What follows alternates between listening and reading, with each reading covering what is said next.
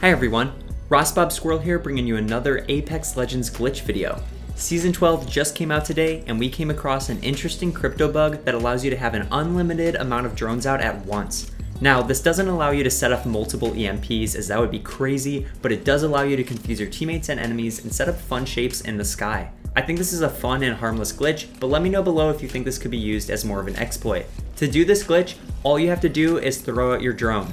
Right after it goes out, spam your ult buttons and throw out another drone. If timed right, you should now have two drones out. Recall your drone and repeat the process as many times as you would like. Be sure you check out my other glitch videos like the one where you can shoot while reviving your teammates. On that note, I will catch you guys on the next one.